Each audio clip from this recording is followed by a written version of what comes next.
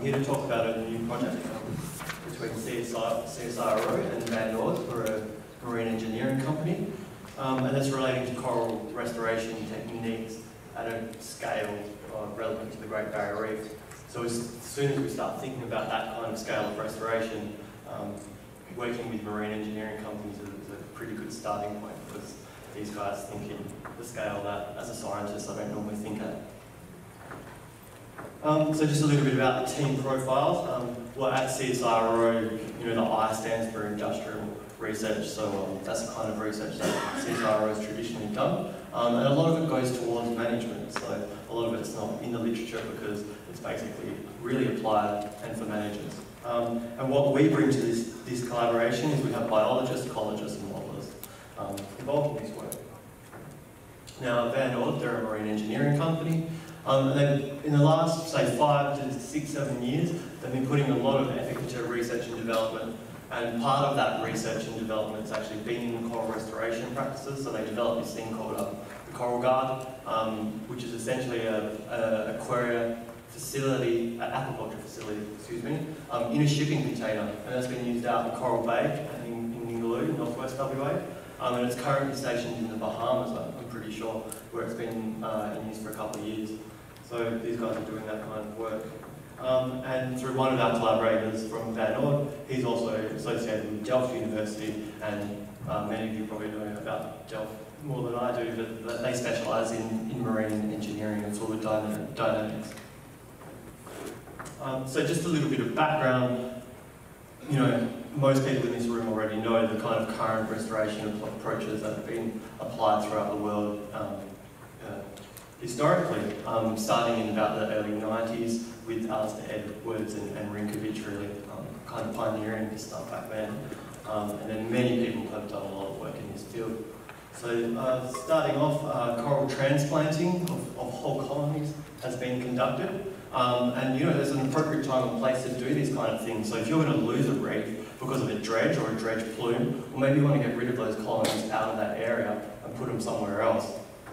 Um, another really classic technique is, is coral gardening, through, through asexual fragmentation, um, and then growing those up in different nurseries, ex situ, in situ, um, and also capturing coral spawn. So Peter Harrison gave a great talk about this yesterday, um, and that can be done in situ as well as ex situ.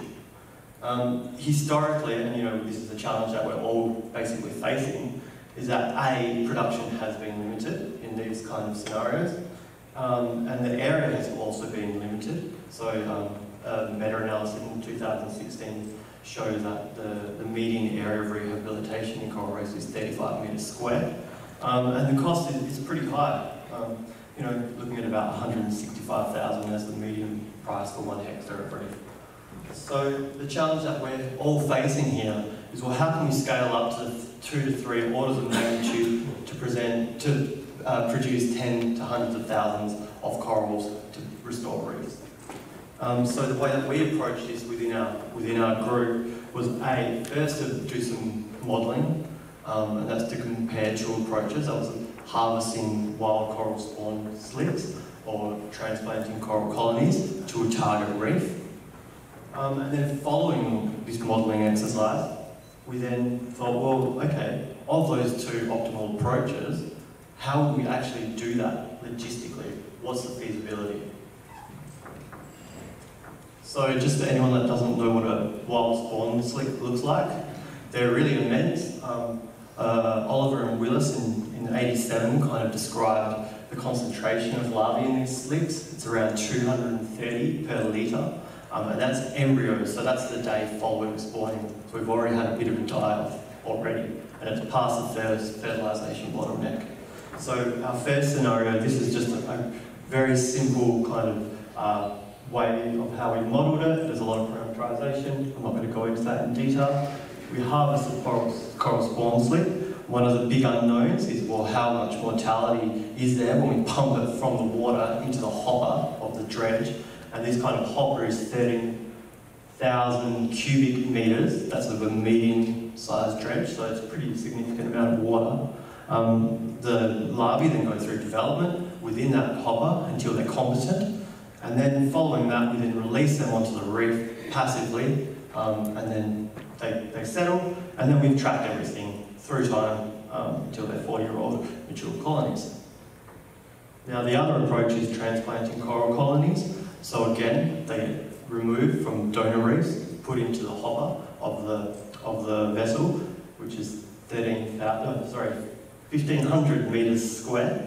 Um, and then they, they get transplanted on the reef, they spawn, um, and then we follow those particles in the water column and see how many of those stay on that reef and go through settlement and metamorphosis, etc. Um, just a brief kind of introduction into the parameters. I've got the full table if anyone wants to go into detail, um, but some similarities and differences. So there's a bit of a difference in the biology, obviously with harvesting spawn slicks. Um, embryo density, really important. Pumping mortality, really important. important. We have some idea about embryo density from a single study, um, without averages around it as well. Um, and pumping mortality, we have no idea about that. Absolutely no idea, no one's done this.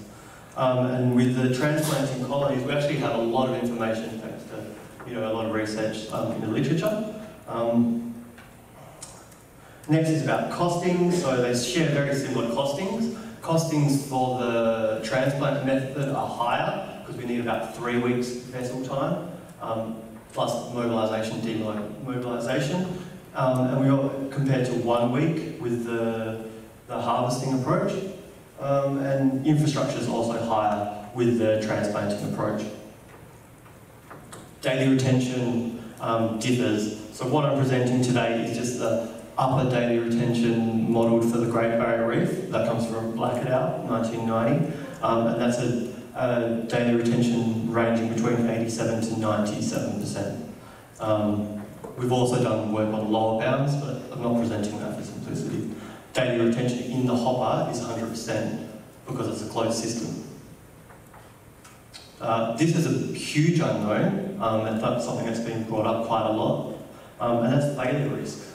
I mean, we just don't have any idea about risk in, this kind of scenario. So we've, we've tried to be really conservative. Um, with the harvesting approach, we've assumed one in four failure risk, so that's total zero. Um, maybe we're being ambitious or maybe we're being conservative, um, but we assume things like weather conditions and being able to concentrate slicks, etc., add to this kind of failure.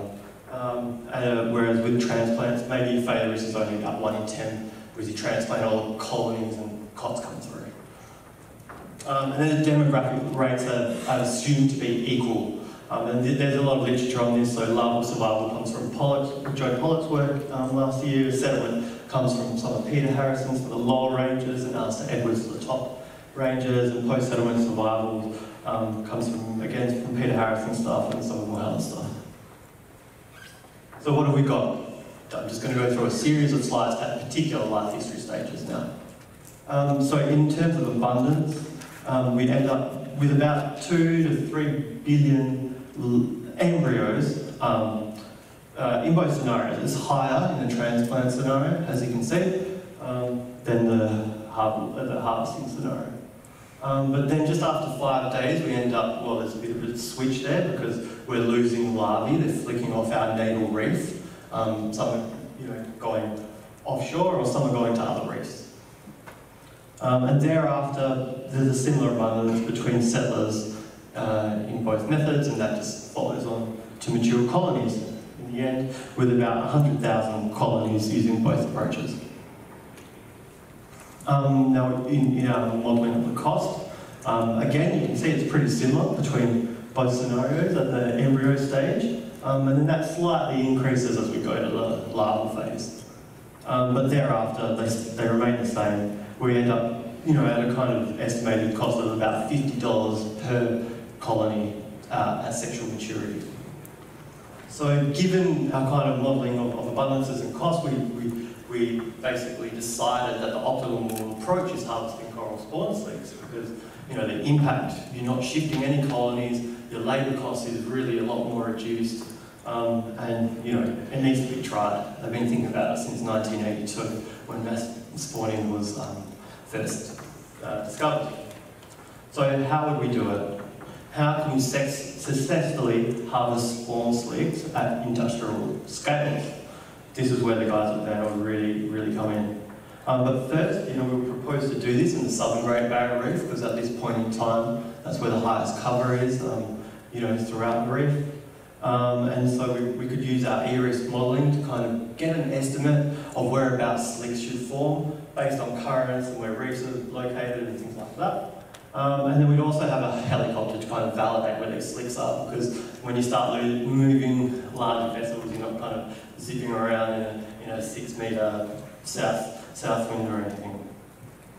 Um, and then how to collect it. I mean, this is, you know, we, we kind of went to the oil literature because oil is, is hydrophobic as a coral, um, coral, coral slicks. So we could move something, a vessel, you know, close to it, get the boom around it, contain it, and then drag it towards the mothership. Now, if you can see in that photo on the bottom right, the head sits at about 10 centimetres below the surface, but it's mounted with floats um, to get it in the right spot and at the right, right height, because you don't want a lot of air going in there, depending on your pump design, which is what I'm going to go to next. So before we went to a, before we go to a, a full trial, We'll try this in a, in a smaller ship, which will be something like a multi-cat or a barge, because we need to see you know, how feasible is this kind of thing. Um, and so one of the things that we'll test here are the pumps. As you can see, the pumping kind of rates, we're, we're thinking about you know, 1,000 litres of water a minute. It's, it's kind of, I can't really get my head around it yet, but I guess if you're an engineer, you can.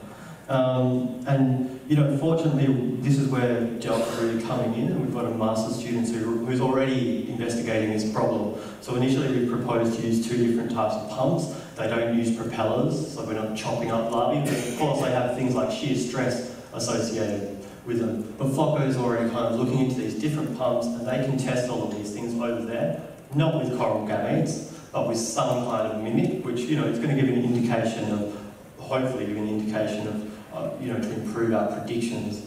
Um, so that, that's great. He's working on this. And, um, and we're going to use uh, 5,000 litre tanks for this, this stage of this trial. Um, and so hopper dredgers use galvanised steel, so they will be one of our tank designs. But you know, maybe maybe they're all going to die in galvanised steel. I don't think so, but we have to test this.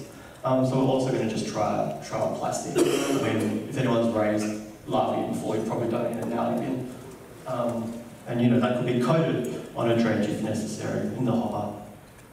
Um, and then we're going to have this randomly um, located on the deck because we're scientists, so we have to have a little bit of experimental design here. Um, and so then we're going to rear these through five to seven days, test the survival through the rearing process, um, and you know probably start to check competency at like two days thereafter, just to you know get an idea of competency curves. And we've heard that, you know, often it's been, uh, it's hard to get corals to settle on vessels. So we want to see whether this is going to affect what we're doing as well. Um, so how are we going to evaluate the effectiveness of such a trial? Um, well, A, the first thing is to, well, can we concentrate coral slicks? It's really basic kind of questions that we have to trial. Two, can we, if we can concentrate them, can we do that at a higher concentration as has been recorded in the literature. Thirdly, well, what is the larval survival um, when we do this kind of uh, technique and which technique has higher survival? Fourthly, uh, which is the best tank type for larval survival and development? And fifthly, as I said already, can we rear those larvae to competency on the board, on the deck? So if all of this works, this is what we would imagine it kind of ends up looking like. We have spawning, we concentrate those slicks with booms, we suck those up into a, into a hopper, um, estimate that 2 billion embryos for a medium-sized vessel, we rear those, we then have about 500 million competent larvae, and we can then disperse those onto a reef um, at you know, the optimal time, and you know, how does this look in the future and in, in terms of other um, things that other activities that people are doing? Well, firstly, you know, we, we assume that this would enhance the recovery, recovery of reefs with negligible impact, impacts in natural populations. Something we need to also think about more seriously in the future. Um, but you know what's super cool is this is entire assemblages of corals here.